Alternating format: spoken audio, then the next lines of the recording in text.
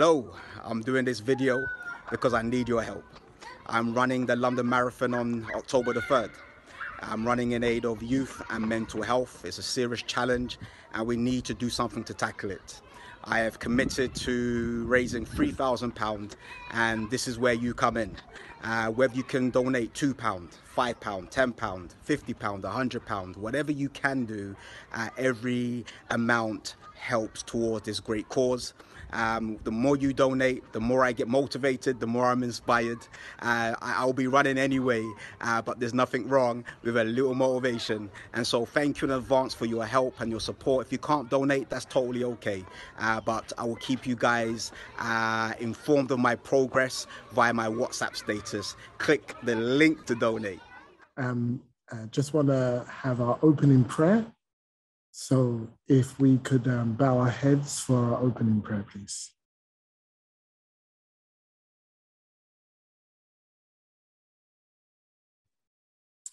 Most kind and everlasting Father, what a privilege to just be allowed to pray for our, our team, our church, Lord.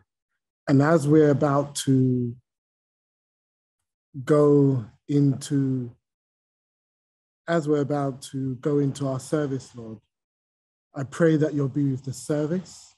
You'll help us to have a good service and be able to be focused on you. Lord, we be with the person who's about to break the bread, Elder Cheryl Harris.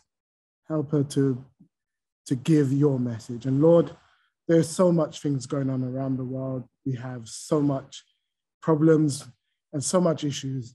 You know, the sick, uh, we're grateful for people who have recovered from COVID. And, and as we're getting our journey to heaven, as the lesson points to, help us to be focusing on you and not to be panicking or as we think of the panic buying situation and the gas prices and, and so on.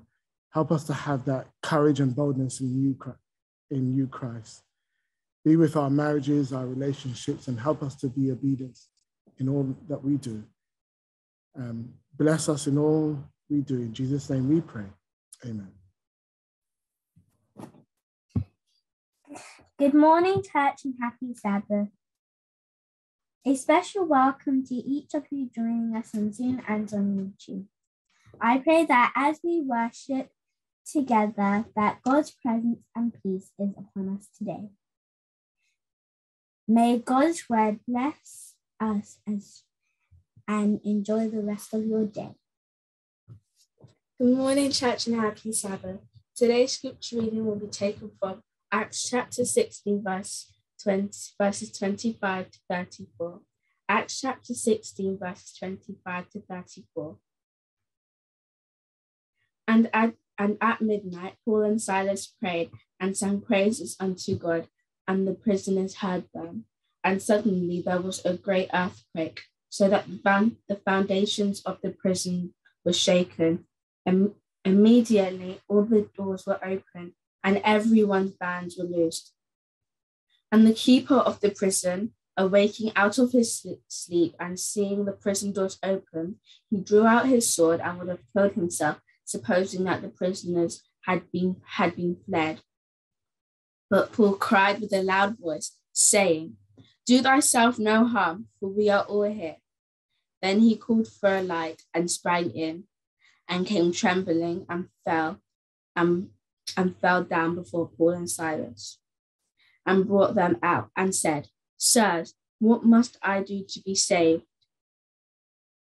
And they said, Believe on and they said, Believe on the Lord Jesus Christ, and thou shalt be saved, and thy house. And they spake unto him the word of the Lord and to all that were in his house. And he took them the same hour of the night and washed their stripes and was baptized. And he and all his straightway. And when he had brought them into his house, he set meat before them and rejoiced, believing in God with all his house. May the Lord bless the reading of his word. Good morning, boys and girls. It's lovely to see you today. Now, our children's story today takes place in the jungle. So I need your help with a few animal sounds. So firstly, if you can unmute your mics, we're going to practice some animal sounds. The first sound is the sound of a lion. Now, after three, I want to hear your best lion's roar. Are you ready? One, two, three.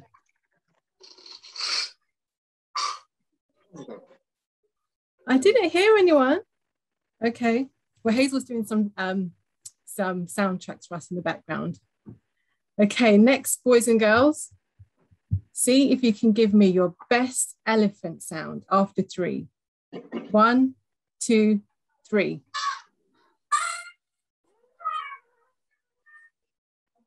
Okay, the last one now is a giraffe. Now we're going to stretch our necks like giraffes and we're going to make the sound as if a giraffe is eating and stretching our necks. Great. Now the very last sound is not an animal sound, but I need you to give me your best laugh. Imagine somebody's tickling you. So parents, you may need to tickle your little ones to get them to laugh. Is that okay? So unmute your mics and let me hear your best laugh after three. One, two, three. That your laugh. That was great. Okay, so let's begin. As I said, our story takes place in the jungle, and it was late at night, and all the animals were fast asleep. But then there was a loud bang, and it woke up the animals. The animals woke up and started to search the jungle to see what had made this loud noise. Eventually, they got to a spot where they saw a star. It was lying on the ground. It had fallen from the sky. Now, the king of the jungle, the lion, he said, I'm the king of the jungle. And he gave a big roar. Let's hear your roars, everyone.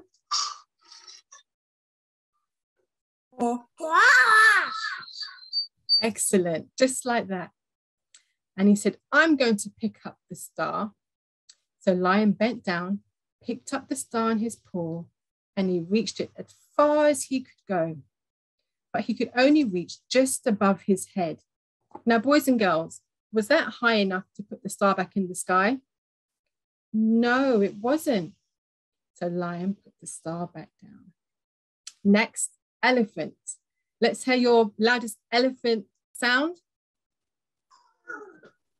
Again. Excellent. Elephant said, I'm going to pick up the star because I have a long trunk. So Elephant scooped up the star in his trunk and raised it as high as he could.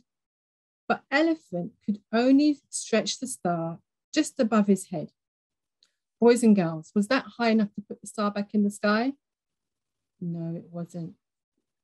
Next was the giraffe. He thought because he had a long neck, he could stretch the, the star way up in the sky. So let's stretch our necks, boys and girls. And so giraffe put this star, raised it as high as he could, but he only reached just above the treetops and boys and girls. Was that high enough to put the star in the sky? No, it wasn't. Oh dear. All the animals didn't know what to do. But just then, little ant started to jump up and down. I can do it. I can do it, he said. I can put the star back in the sky. And all the animals started to laugh. Give me your best laugh, boys and girls.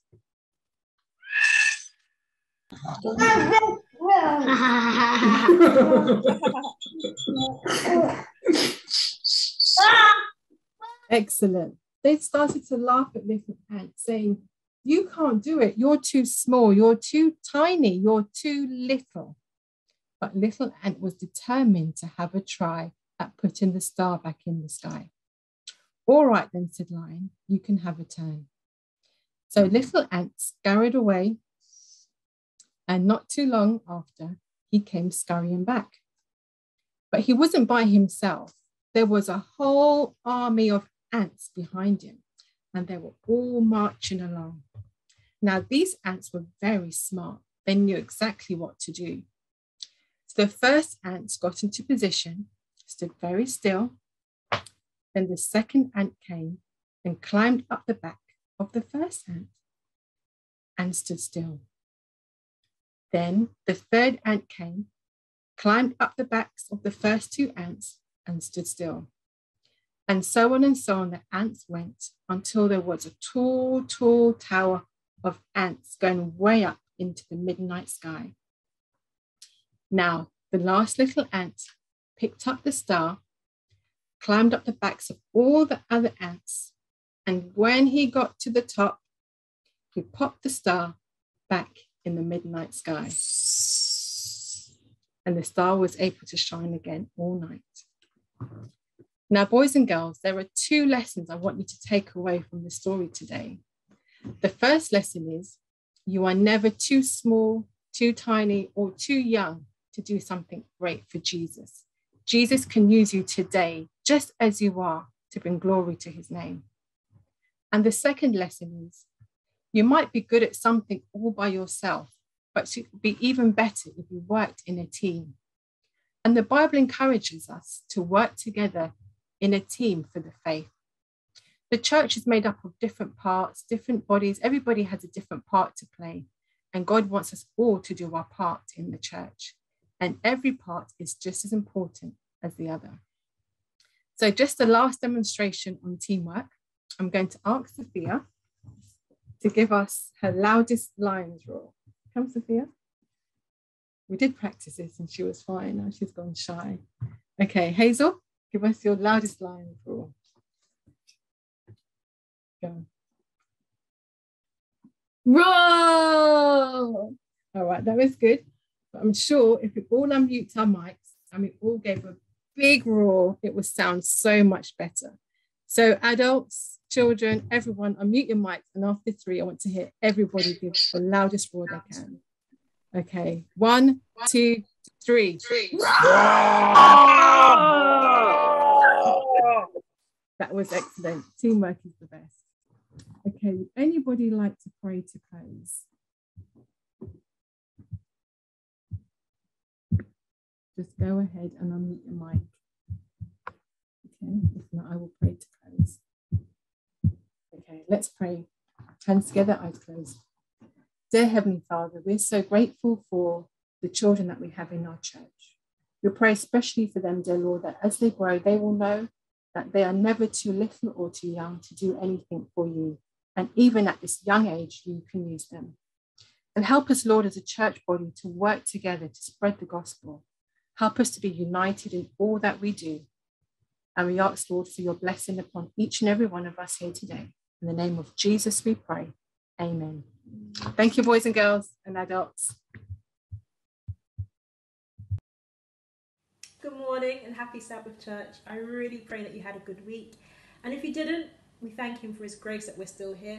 Um, it could have been many different ways by the end of this week, but we're still here and we're in a position to praise Him and to worship Him. So we're just going to sing some songs directly to Him today. We're going to sing about His greatness, and then we're going to sing about His love, and then we're going to just sing about the sacrifice that He paid and how we fit into all of that as well. So I pray that as we sing, I notice I said we sing, that even though I can't hear you, that we worship together, we worship the King, and we lift our voices to to the one that deserves it all. So we're going to just start with a song that I know you know really well, or likely to know really well. It just says, How great is our God? And it says, Sing with me, How great is our God? And I really hope that we sing together and we worship Him. So let's sing, How great is our God? The splendor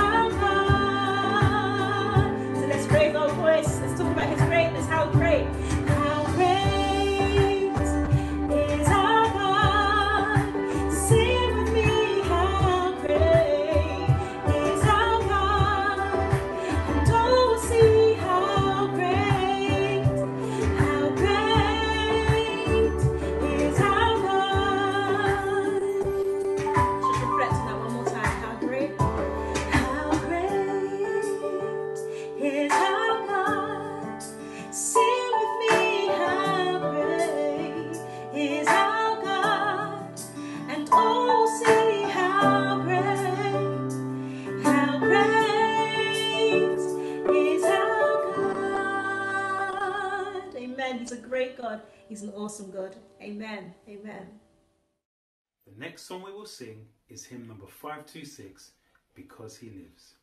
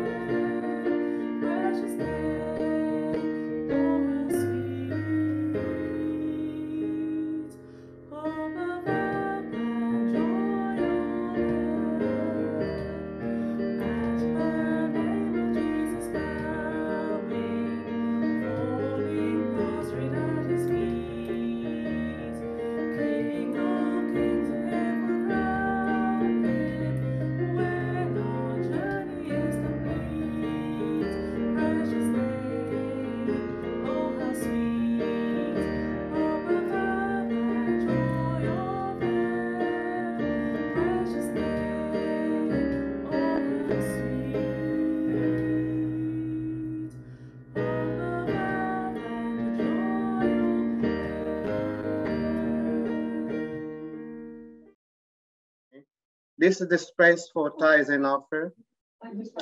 I want to thank you, Combs. I'll just give a few minutes for, for those online to take the notes before I speak.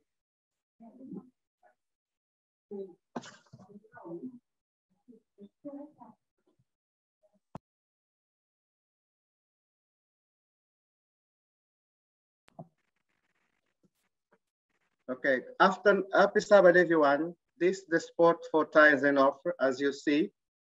Uh, the tie is going for the conference and uh, offering going for local church. As we give, I just want to explain for those who just in for the first time, when you send your money to account, if you can email to the treasurer and break down and explain what's the, your ties and why your offer, that help the treasurer to allocate where you want to give to conference or give to a local church. I want thank you for listening and for being part of the platform today. Happy Sabbath to everyone. Everyone. Happy Sabbath. Happy Sabbath. Happy Sabbath, Pastor. Pastor. Happy Yeah, Sabbath. Kara there. Oh, happy Sabbath, Kara. Today it gives me privilege to actually welcome someone who's been dear to me. Having just arrived in Houston, Texas, in August, seems so long now, 2018. And I would be there for about 12 months away from my family, loved ones, the church. God led me to a church, a church that was called, that is called Fondren. He was so great for me and to me because of the fact that I knew no one in Houston, no one, family member, absolutely no one was there. And it was, I was feeling rather alone, but God led me to, to, to. It was at the Fondren Seventh Adventist Church that I first met our speaker for today, Elder Cheryl Harris and her lovely family. She's born in London. She's a Londoner, even though she's been away for such a long time. She's still a Londoner. She migrated to Montreal, Canada at the age of five. Presently, she's living in Missouri City in Texas. She works as a music specialist at an intermediate school in Houston. Elder Harris attends the, the Fondren Seventh day Adventist Church, where she is the first elder. Fondren Seventh day Adventist Church, a worship center, a great place, contemporary worship. She is married to Dr. Howard Harris. He's a former director of jazz studies at Texas Southern University. And together they have one lovely son, Austin, who just recently entered the working field as a music instructor. So music is in their blood. One of her favorite scriptures, he says, is trust in the Lord, pour out your heart before him, and God is a refuge for us. She's one of the outstanding elders at the 470 Adventist Church. Myself and my family can speak of Cheryl. Her compassion, her care, her looking out for, for us, we were well catered for. And I never forget those many Sabbath gatherings where we came into contact with the rest of the church family. She and her family have welcomed my family as we traveled. She's warm, loving, kind. And today I want to welcome her to the pulpit of the Chiswick Seventh day Adventist Church. And here I'm saying the word Chiswick Seventh day Adventist Church. But before Elder speaks, we will be favored by a special item. Then the next voice you hear will be Elder Harris. May God bless us. Amen.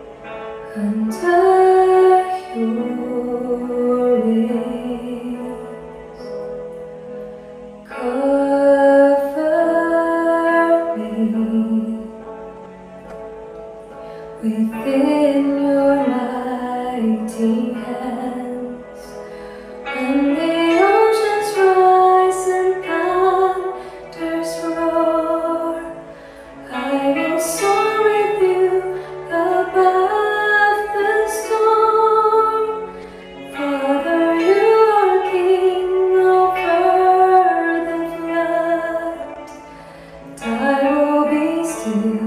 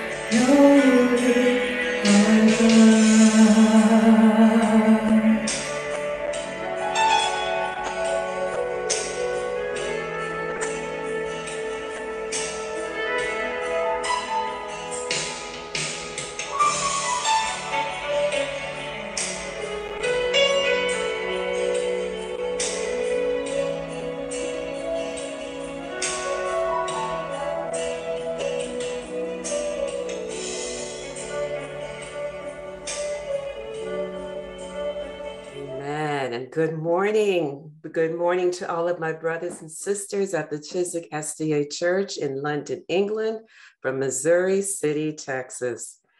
I almost got caught up with that beautiful praise song. I need to look for that. That is such a beautiful song of meditation to take us just to where we need to be today in a place of worship. I wish to thank your pastor, Dr. Steve Thomas, for the invitation to worship with you and to share a word of encouragement to keep us growing in the faith and in the knowledge of our Lord and Savior. I thank him also for the opportunity to worship and not just worship, but to minister again in my home country. You know, the first time I ministered in, in London, England, was at the Regent, Regent, Regent Street Church at the age of four. And I sang the song, Two Little Eyes to Look to God. That is still vivid in my memory. You know, while your pastor was studying and working in Texas, he became a very integral part of the Fon- Fondren congregation, as well as a friend to many, especially to my family. We've seen that God's grace truly shines through him, as is also evident in his family, his beautiful wife, Lurleen, and their daughters and their son in law. You know, we can all agree that Sabbath is a time where we can come aside from the challenges and the concerns of the week and spend quality time with God and with other believers. And if you don't mind, I'd like to welcome into fellowship this morning. Uh, fellowshipping with us this morning is my Aunt Winnie Charles and her daughter Monica, members of the Walthamstow SDA Church. My prayer today is that God will bless our worship time together and that someone will find their healing. Someone will find their breakthrough. Someone will find added strength to go on the extra mile. Although we all have our own individual trials, we all look to the same God, the true God, the one true God who never fails. Our trust in Him allows us to build up resilience and a stronger dependence on Him. I wonder if you would join me right now in praising our God who is omnipotent, He is omnipresent, and He is forever faithful. Can you say, Praise the Lord? We worship you today, oh God. Hallelujah to our Lord and Savior, Jesus Christ. Amen. Amen. Amen. And you know, as now as we get into the word, you know, I'd like to thank the young lady who read the word so eloquently. Thank you so much. Acts 16, 25 to 34. And if you don't mind, I'd just like to repeat a couple of the verses, starting at verse 25 through 26, which reads And at midnight, Paul and Silas were praying and singing hymns to God, and the prisoners were listening to them. Suddenly, there was a great earthquake, so that the foundations of the prison were shaken, and immediately all the doors were opened and everyone's chains were loosed. The title of our message is The Midnight Praise. Hallelujah. Let's have a word of prayer. Father God, you are already with us. We feel your presence all around us and in us. The word says, where there's two or three gathering, you are here. Speak to us, oh God, as the, as the only way that you can, individually and corporately, as you get us ready for heaven. Take away our sins, keep our eyes on you, and bless our time as we feast on the word today. In Jesus' name, we give you all the glory, all the praise, and all the honor. Amen. Praise God. As we get into our message, I'd like to leave three points with you.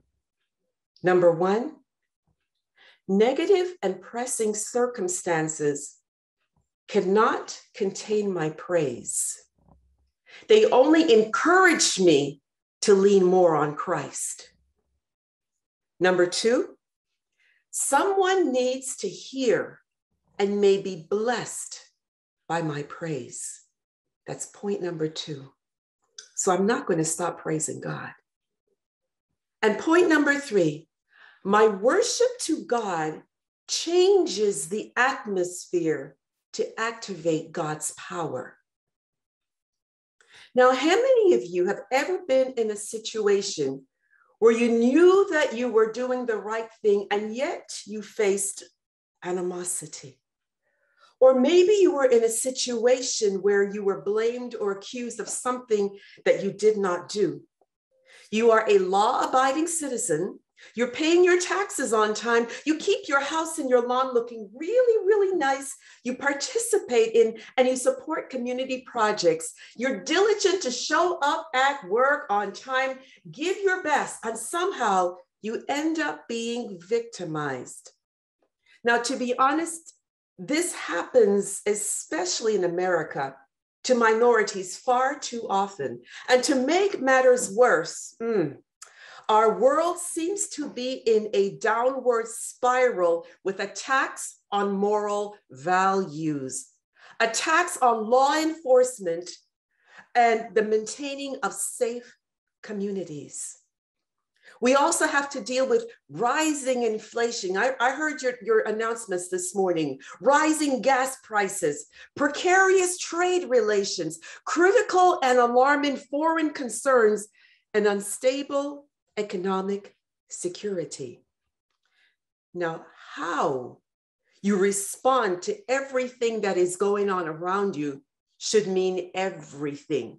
We are bombarded on every side, but we cannot, we dare not live without hope. Yeah. We must give ourselves permission to live victorious lives. Now, as we turn to the word for guidance, we will spend some time today in the book of Acts, chapter 16. And this will lay the groundwork to show how injustice and discrimination have existed throughout history. Our scripture finds Paul and Silas in prison. Now, for the next moment, let's, let's just find out how these two ended up there. Now, according to Acts 16, verse 16, the Apostle Paul and Pastor Silas were doing missionary work in Philippi. They were responding to the call that Paul had in a vision to come over to Macedonia. Now, just for reference, the city of, of Philippi is in Macedonia. So, after converting Lydia and her household to becoming followers, Paul and Silas spent some more time in the city. Now, one day, as they were going to the temple to pray, a certain demon possessed slave girl began following them while announcing who they were. These men are servants of the Most High God uh, uh, who uh, proclaim to us the way of salvation. By making this proclamation over and over as she followed them for many days, she was financially empowering her masters as a fortune teller. Now, why Paul and Silas allowed this to happen for as long as they did is a wonder. But at some point, Paul became greatly annoyed and commanded the evil spirit to come out of her. Right then and there, the Holy Ghost power invested in Pastor Paul. Fortune telling days for this slave girl was over.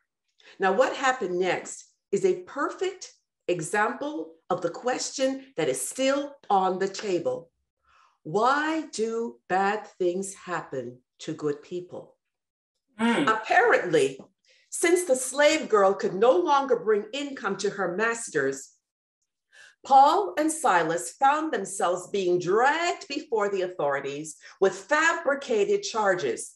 And as we all know, as long as we pull out the race card, emotions are going to fly. Mm-hmm. The citizens dredged up some charges that went like this Paul and Silas, otherwise known as these Jews, are teaching customs that are not lawful for us Romans. That was all the multitude needed to hear to get agitated and put a beating on these two preachers with rods. Mm-hmm. But God, in His mercy, allowed them to live through that terribly brutal experience. And when the beating was over, they were thrown into the, utter, into the inner prison. Now, just what is the inner prison? Come on. The inner prison was a place where the worst of criminals were kept and properly secured with their feet in stocks. Now, in my humble opinion, that enhanced measure was only to add more humiliation than was needed. How does one who has just received a beatdown pose a, a flight risk? Mm. Now, another question that usually pops up in the same interval as why do bad things happen to good people is the question where was God? We've all heard the stories, and our hearts are pricked each time we hear of tragic situations that inconceivably causes us to wonder, why, God? We were all shocked to hear of the Allegheny East Conference president, Pastor Henry and Sister Fordham, who perished when their house caught on fire. And inside of us, we're asking the question, why, God? We know that God is love. We know that God's words has promises that we should prosper and be in good health. And even when our health is challenged and we're scraping the barrel to put food on the table, our spiritual mantra is still that all things are working together for good to them yes. that love God. yes. yes.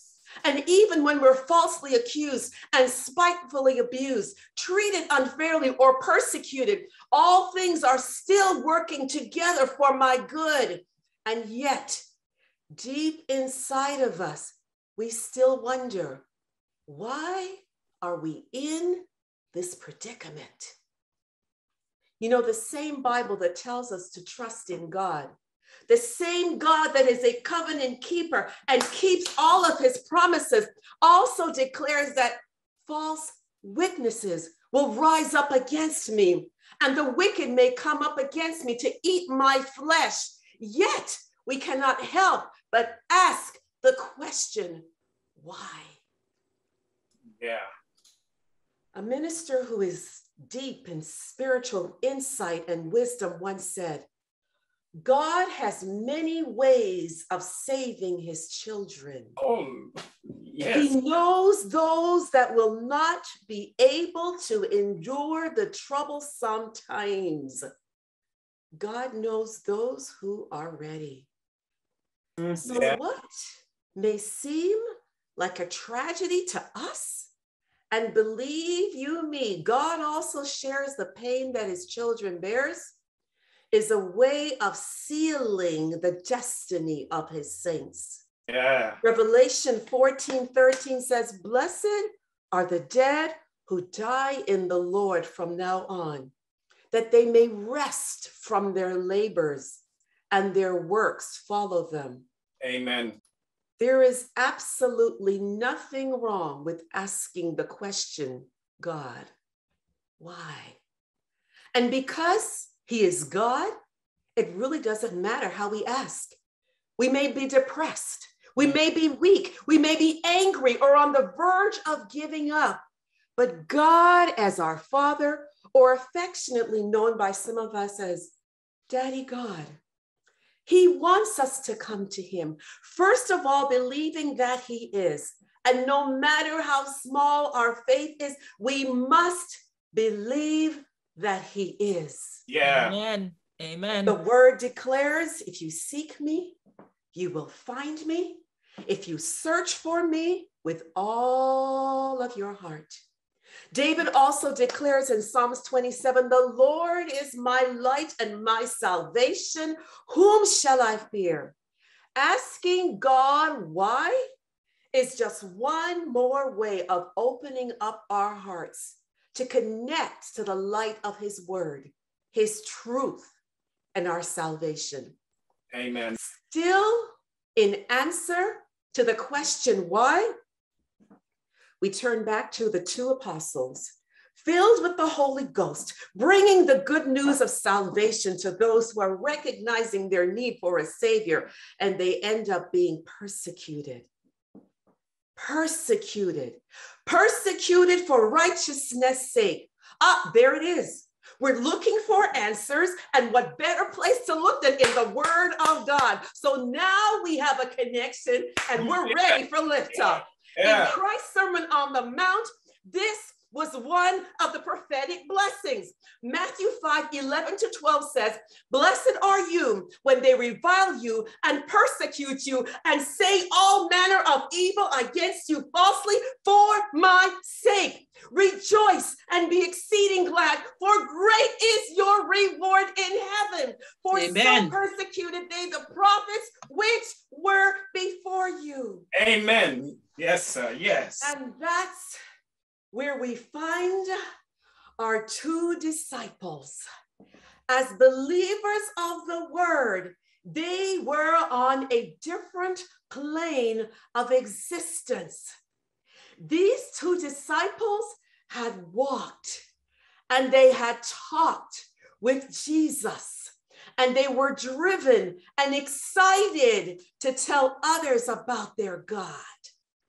Imagine with me as they sat with their feet in stocks in that cold, dark, smelly prison, what must have been going through their minds. They were weak. They were sore. They were blistering. They were bleeding without a promise of a hope for when they would be released to at least receive some treatment for their wounds. Maybe they even wondered if we were following God's directions, why did we end up here? Like common criminals. How could this happen? We don't know how long this painful exchange of questions went on for, but at some point in time, there was a glimmer of light in the situation. Thank God for the Holy Spirit who promised us to be with us at all times until the end of time. Amen. And believe you me, he was right there beside them in that pitiful place.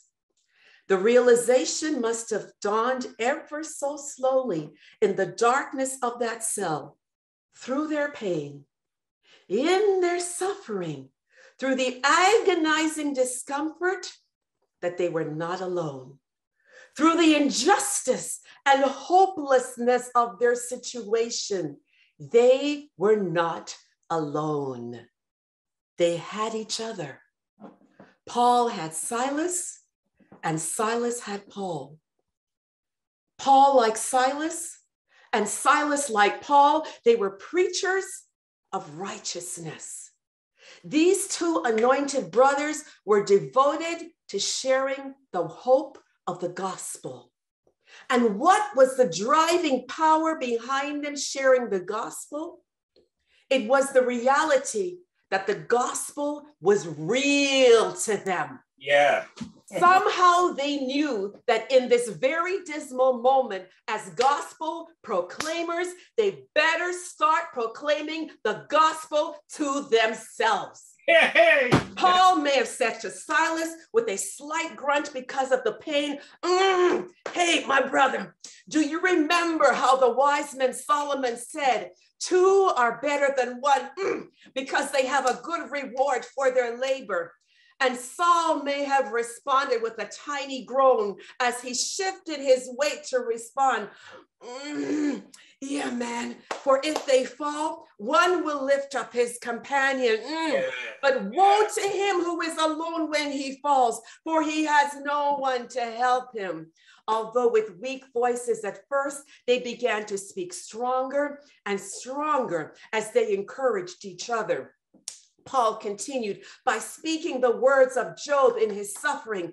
"Mm, you have granted me life and favor, and your care has preserved my spirit. Mm." And right on cue, Silas declared the words of King David Do not mm, deliver me mm, to the will of my adversaries, for false witnesses have risen against me, and such as breathe out violence. Mm, mm. I would have lost heart unless I had believed that I would see the goodness of the Lord mm, in the land of the Yeah. living. Yeah. As the minutes ticked away, they began to fly.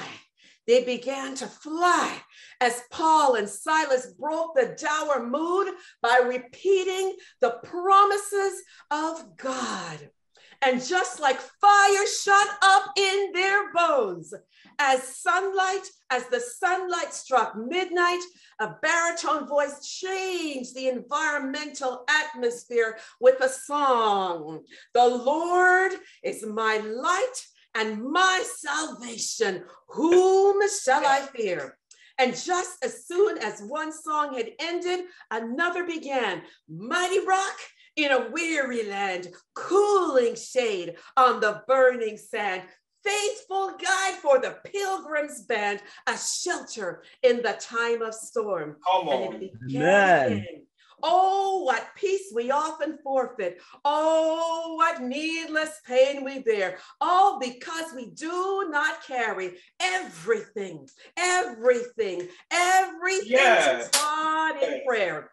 And again, Silas' voice rang out Crown him with many crowns, the Lamb upon his throne. Hark how the heavenly anthem drowns all music but its own. And once again, this time, their voices in harmonious strain rejoice. The Lord is King, your Lord and King adore. And so, as the minutes ticked away, they sang and they sang and they sang. Those two beaten to a pulp preacher prisoners became so pumped up with singing their praises to God, all of the elements were affected. Even while the physical body was suffering, the inner man was still very much alive. Even in their physical suffering, Paul and Silas did not forget their purpose and praise God that they were found worthy to suffer for Christ's sake. Yes. And it probably never occurred to them that they were entertaining angels who, mind you, had probably folded their wings due to the energy of worship that filled that cell. Mm. It also didn't matter to Paul and Silas that there was a captive audience, pardon the pun, a makeshift congregation of sorts, as every prisoner within earshot had tuned in to listen curiously to the two singing evangelists. As the praises to God continued, there ain't no rocks gonna cry out in my place attitude began to cause a dramatic shift in the atmosphere that had never happened before. Suddenly, without warning, the foundations of the prison were shaken.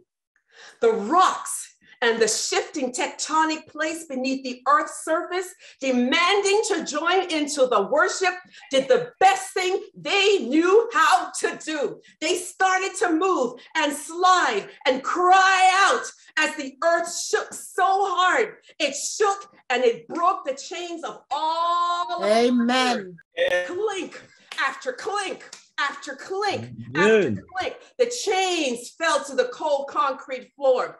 Joining the clinks and the clanks was the fierce rattling of metal bolts and bars as the prison doors broke loose and began to swing back and forth and back and forth with vigor. And as though stunned by the supernatural display of loose chains and open prison doors, even as the strains of the last note hung densely in the air, not a single prisoner budged from his or her place of confinement. And Paul and Silas must have looked at each other and wondered did we just do that? The violence of the earthquake gave freedom to all who were in confinement in the prison, and yet no one left. Hey, come on. Not even Paul and Silas, who technically had no business being there, but God wanted them there. And their God ordained presence was a manifestation of all things working together for good in real time. They had created such an atmosphere of worship to their God, opening the way for someone to be saved. Now, although the Bible oh, doesn't yes. say this, in my sanctified mind, I believe that there were other converts in that jail in that jail that night beside the jailer and his family. The proof lies in the fact that not a single prisoner fled. There's no question that the impact of the whole experience must have had an effect of everyone within those prison walls. There's no doubt that this was a turning point in the lives of the undocumented witnesses. We just don't know how much. But someone else in those dark, cold jail cells must have realized that there was another brand of freedom beyond running free from a jail cell. There was on. another brand of freedom that was a saving encounter with the Lord and Savior who died to set them free from the shackles of sin. Someone Amen. else realized in their impoverished state that this supernatural event that they had just witnessed could only be the mighty workings of a supernatural God who delighted in the worship of the two beat up Amen. Yeah. My, my, my, my, my. Mm. Now, the only movement in that jail cell was the jailkeeper, suddenly realizing that he had fallen asleep at his post and the prison doors were swinging open. And that could only mean one thing. A horrifying feeling began to rise up within him due to the realization that all of the prisoners had taken off. He scrambled for his sword to take his life, but it was not to be. The Apostle Paul, guided by the Holy Spirit's intuition, called out to him, Do yourself no harm, for we are all here. In that very moment, Paul threw out the life saving words that changed the trajectory of the jailkeeper's life. Yeah. No man was ever so glad to hear another man's voice. Verse 29 Then he called for a light, ran in, and fell down trembling before Paul and Silas. And he brought them out and said, Sirs, what must I do to be saved? Amen. The jailkeeper called for a light. That detail should not be overlooked. He called for a light. He was no longer satisfied with darkness. He desired light. He called for a light, just enough light for the situation. Little did he realize that he was about to receive more than he bargained for. Jesus Christ, by his confession, was to become his Lord and Savior. The jailkeeper called for a light and he became acquainted with the light of the world. Yes. Amen. My friends in Christ, you may never know at the time just who is ready to come to Christ. Your witness may influence people around you. And when they realize that you have something that they don't have, be, just because of the way you are living, they will feel comfortable coming to you. I know that some of you have experienced that. You know what? You don't have to talk about God for people to know that you are godly. Remember the little song, Don't You Know, Oh Christian? That you were Amen, serving amen. in shoes? Hmm. What if Paul and Silas, through their mistreatment, had exemplified a complaining and a contentious spirit? Oh, but no, no, no, no, no. They were too charged up in the Holy Spirit. Anything like a little persecution stand in their way of praising and worshiping their God. Their imprisonment led to the salvation of an entire family. And the takeaway is that God does not waste our suffering as he is always working everything out for our good. Amen. Hallelujah. Jesus said, I, if I be lifted up, will draw all men unto me. And in that cold, dark, smelly, hopeless place, Paul and Silas proved those words true.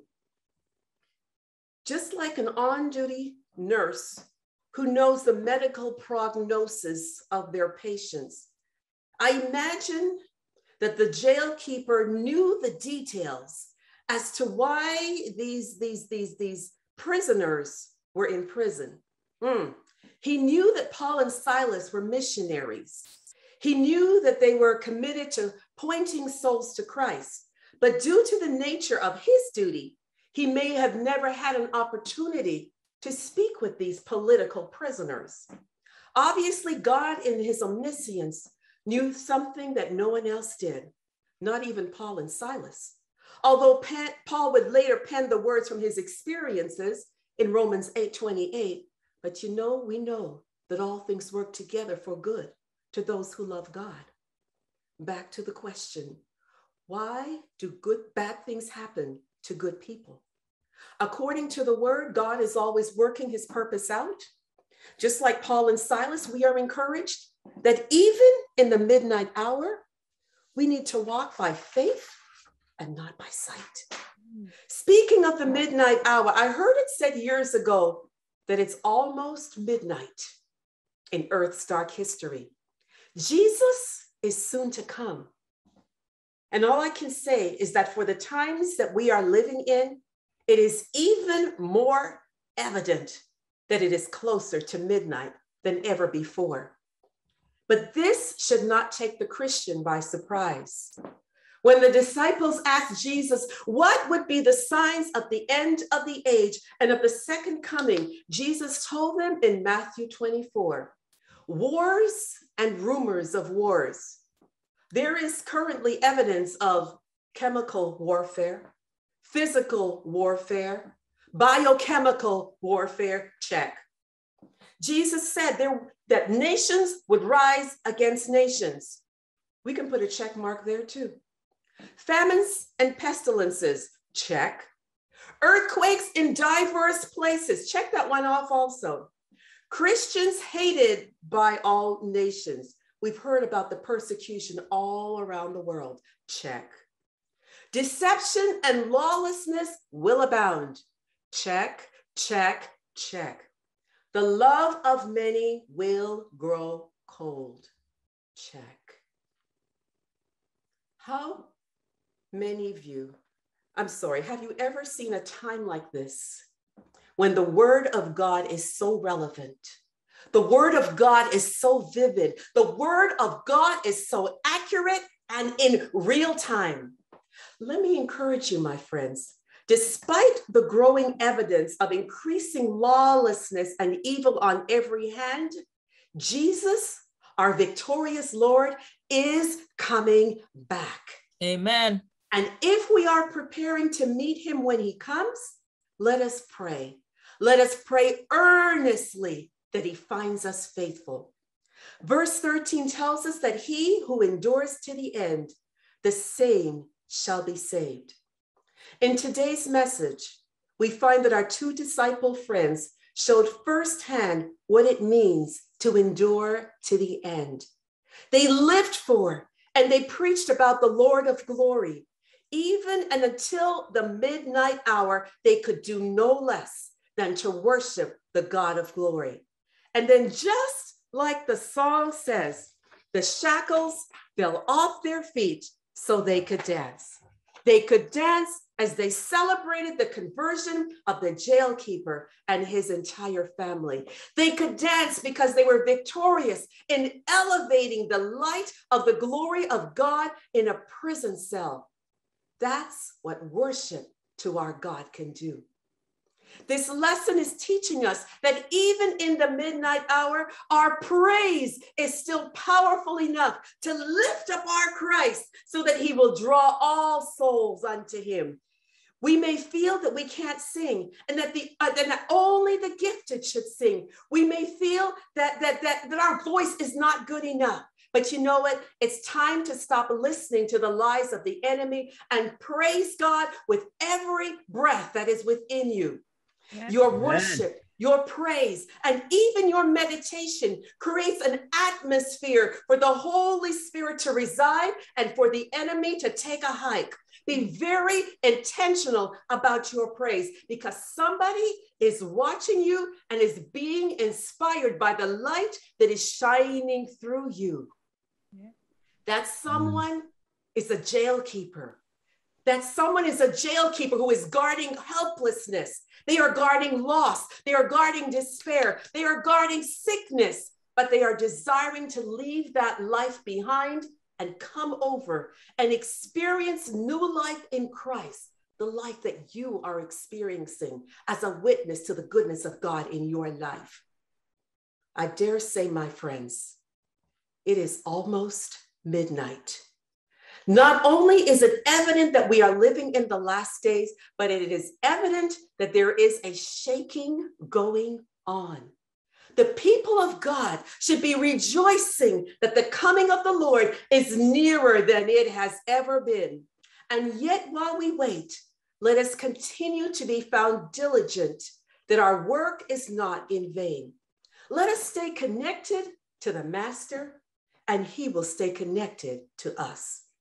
We need to let our actions, we need to let our thoughts, we need to let our motives be so intertwined with the Father so that when the trials come to try to shake our faith, we will be found worshiping and praising and singing to God and encouraging each other, even in the midnight.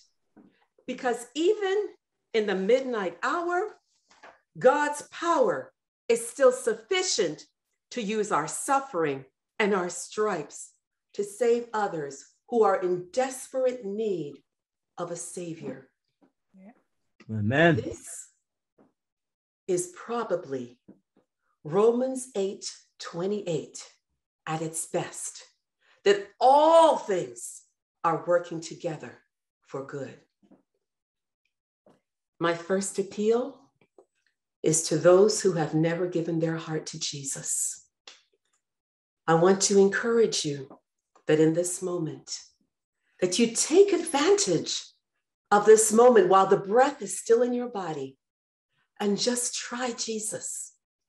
Because when you invite Jesus into your heart, you will begin to experience life like you never have before. And not only that, but when you choose Christ, your destination is secure eternal life in Him. And just bear in mind that if you were the only sinner, Jesus still would have left his throne and come to earth to save you. Oh, what great love he has for you. I encourage you, if you are making that decision right now, reach out to someone in this congregation, reach out to the pastor, and they will gladly encourage you and excitedly walk you through how to become lost in the love of our Savior, Jesus Christ. My second appeal is to the rest of us. I want to encourage you, my brothers and my sisters. We are going through some very turbulent and challenging times, but don't lose your praise. Every moment of every hour, allow Christ to be the meditation of your heart with his praises on your lips and his life in your actions. Every moment he is shining out from you. The only thing to keep us grounded in these challenging times is to stay anchored to the God, to the rock of our salvation. Mm. And that is my prayer and my determination for you this day. And I'd like to end with the words of the praise song that I thought was so in tune with the message to take the name of Jesus with you, child of sorrow and of woe. It will joy and comfort give you. Take it then wherever you go. Shall we pray? Our Father and our God, we are grateful, Savior. We are grateful to you this day for the Holy Spirit that has spoken to each one of us. You have encouraged us. You have blessed us. You have strengthened us according to our needs. Father God, I pray in this moment that shackles will be broken, that illnesses will flee, that despair will take a hike, because God, everything that we need is found in you, our Savior. So bless us right now. Bless your waiting congregation. Bless us as we go through the coming week to do just as you've instructed us today, to keep a praise on our lips and joy in our hearts. No matter what we may go through, we, mo- we know that all things are working together for the good of those who love God. We want to see you when you come. We know that you will save us as we praise you, as we worship you, as we lift you up, as we magnify you, as we bless you now and forever. In Jesus' name we humbly pray. Amen. Amen. Amen. Amen. Amen. Amen. Amen. Amen. Amen. Praise the Lord. Praise God. I just want to really say it was a blessing to have you, Elder Harris. It was such a privilege to be with you again, though separated by distance. But truly, we're saying when you make your way back to your country, Hallelujah. Because you need to be in the flesh in the pulpit. Hallelujah. And- Hallelujah. Praise God. I really appreciate that the shackles fall off their feet so that they can dance. Hallelujah. Antidote to shackles falling out. Praise God. Praise I want to thank him and I pray that God will continue to bless you, bless you and your family. And I tru- truly appreciate you getting up six hours ahead of time because there's six hours. If you don't know family, there's six hours, there's six hours behind us. So it's really early in the morning right now to have that. Thank you, sis. I just Oh, want to glory love to you. God. Praise, praise the Lord. Praise the Lord. Glory Lord. to God. Glory to God. Glory to God. Amen.